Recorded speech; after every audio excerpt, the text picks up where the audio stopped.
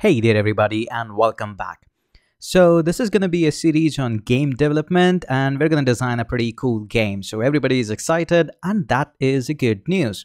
So let's get started and I received a lot of questions about what about the Windows users, how we are going to follow this series. So uh, let me clear up a lot of things. The one thing that you require for this development is Xcode. Now Xcode is totally free but only for, for the Mac users. And in case you are looking for any additional Xcode or latest one, usually you find it on the developers.apple.com, a very familiar site for all the developers. So it's available on the X on the App Store.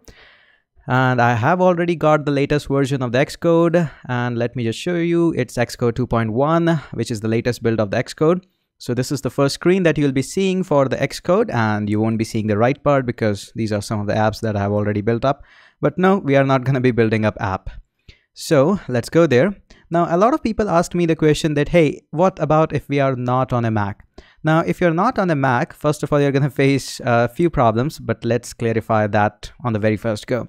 So a lot of people say that yes, uh, entire OS can be used as a virtual machine and VirtualBox, and entire OS X can be installed on a Windows using virtualization. Now, I don't disagree with that. Yes, it's completely possible. You may find hundreds and hundreds of tutorial doing Hackintosh and stuff, but do I really recommend that option for development of the Xcode or game in the sprite kit? No, at least not. Personally, that's my personal preferences because eventually with the time you'll face a lot of problems like generating certificates and, and tons of others like that. And I believe that somebody is learning game development or app development on Xcode 8 or iOS 10, he's pretty much serious about getting started with the app development. So definitely he wants to launch the app in the App Store. I won't deny that it's not possible with the Hackintosh, but it's pretty tough and uh, I would say it's a wastage of your time. So in fact, I do recommend if you are very serious about it, go ahead, buy a Mac Mini and it's almost with the cost of a compute or a laptop, general laptop, it's much more cheaper than the Mac, MacBook Air or MacBook Pro or just like that. And you can do full stuff, full-fledged stuff on that. But again, if you just want to give it a try, there is a great option, a Mac in Cloud.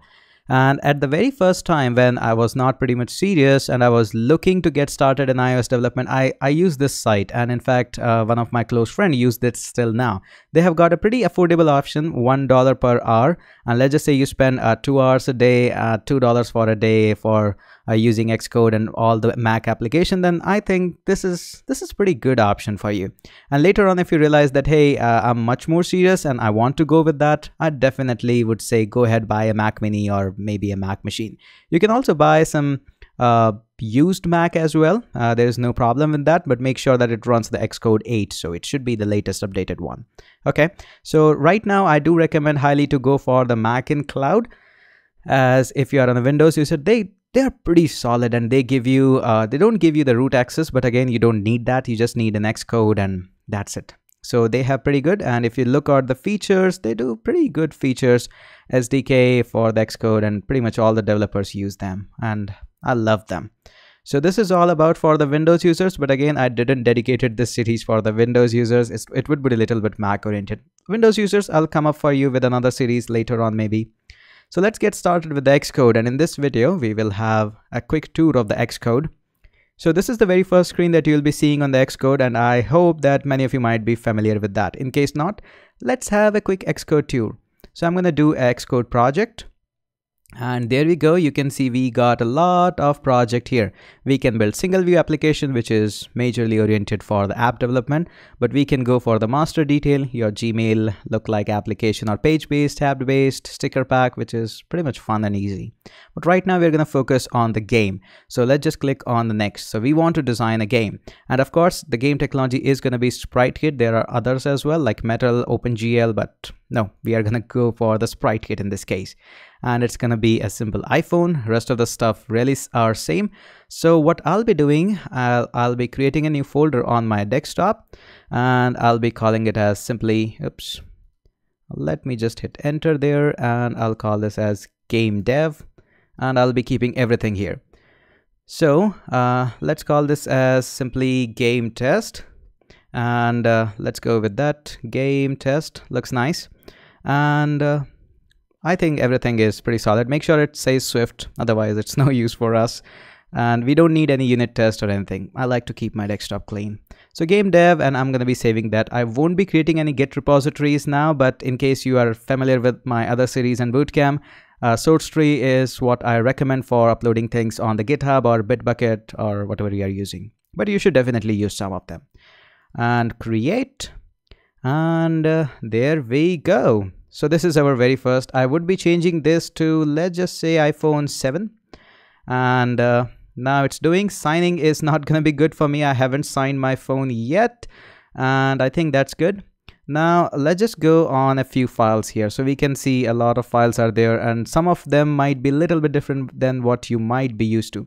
So first of all this guy the hello world is is pretty big actually we have gone got some actions which is empty games in swift and we'll be talking about what each this file is what are these so many functions here. But again believe me it's it's much more easier than it what it looks like.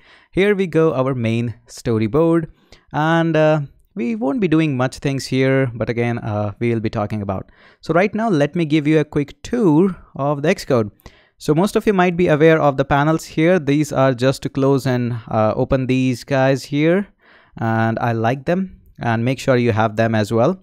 And uh, this bottom menu actually changes quite a lot based on what you have selected here. Like for example, if I go in the scene kit, it just changes with the sprites, lights, label, camera and all the game related stuff but on the main storyboard it changes a little bit like view controller table view controller buttons text just like that and we'll be working most of the time in the game SKS or the game scene.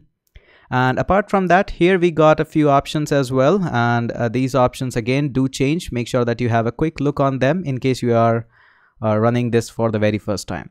So right now I have got iPhone 7 as selected and I'll run this simulator.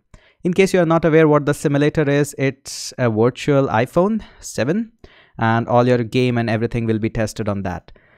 Now my machine is a little bit faster. It's having a load of gigabytes of RAM. That's why it's loading quite quickly. In your case, it might be a little bit slower. So you need to have a little bit patience. Okay, so this is what we have got. We can change the labels here, hello world and everything. Uh, and we'll be doing that quite a lot. And most of the time you don't want to change it from here. You want to change it from this panel and uh, hello label and hello world and everything should be changed from here mostly. So we'll be working on that. Right now our simulator is loading. It's not that much fast as I was expecting, but yes, this is the first time it's loading up. From the next of the videos, I'll be keep loading that up in the advance. So there we go. And uh, why it's taking so much of the time. There we go. Our game is getting started for the very first time. Now it will be just loading up and everything. So there we go, our nice hello world. And if I click on that, you can see it changes and this is the very first game you have designed without even writing a single line of code. And you can see at the bottom there are some nodes, there are some FPS going on and notice it changes quite a lot. So this is all what we'll be studying here. And this is pretty easy, pretty much fun. And this is a fun game to play around for the very first time. You can click it again and again and can see that how this pops up. And we'll be seeing all these effects. This is so nice. If you are watching it for the very first time then I'm pretty sure you're gonna play it for some time. And by the way command and your arrow key is responsible for tilting it down onto the landscape mode and you can get back there. Okay Let's just stop that and I would say that was a pretty much good start. Within no time we were able to print out the hello world and uh, I know we haven't touched a code or we haven't understood every, anything yet but hey that's a good start. You have launched your very first screen, you have created a project. I would say that's a good start and I'll catch you up in the next video where we'll be talking a little bit more about in depth and uh, actually what's happening at the backend. So I'll catch you up in the next video.